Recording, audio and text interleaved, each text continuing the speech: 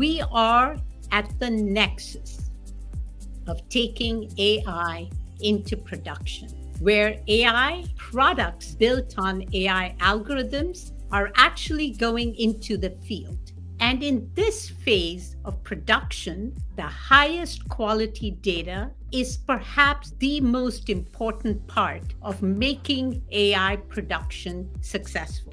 The product team at iMerit is an exciting place to be because we get to work with people solving the hardest problems in ML, which isn't so much the architectures or the mathematics, it's data, data that needs to be labeled at scale and accurately iMerit's approach to solving these problems with customers is uh, bringing people to the table. So we've got hundreds of real experts. That's a, a real superpower that we, we have. The tech that we have enables the humans to do the annotation. In that stack are uh, annotation tools that we've built uh, for 2D and 3D uh, annotation.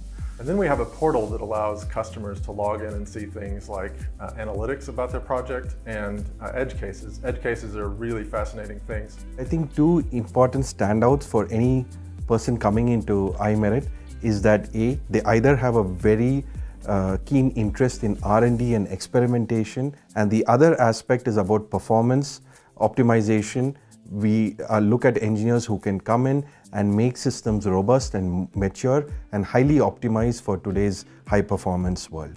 In terms of actual skill sets, we cover the uh, entire gamut of uh, full stack development, data engineering, machine learning, computer vision skills, NLP skills, so within NLP, we serve a variety of industries because NLP is ultimately a technology that applies to a modality of data, namely language data, which could be text, it could be document or sort of image based, and it could be audio.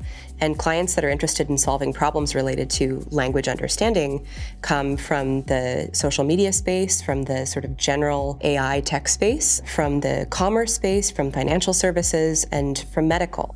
The main thing for me is to bring on people who are great communicators and are able to pick up the domain knowledge as they go. This is a quick moving space. We see rapidly fluctuating use cases, which actually makes it really interesting because you're always kept on your toes.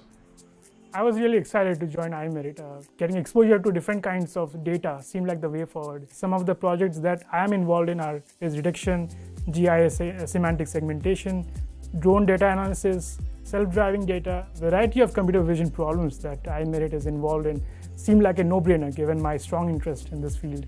It's a very exciting time and it's a very exciting field.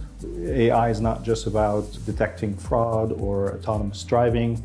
There's a lot of other good applications for it, such as detecting cancer cells early on, the work that I do at iMerit is meaningful to me because I am really playing a part in building the future. The products that we use, the services that we use, you know, all of this stuff is going to be more and more automated, more and more filled with AI and ML. And the fact that, you know, I get to play a role in that is really meaningful for me because it makes me feel connected to the world.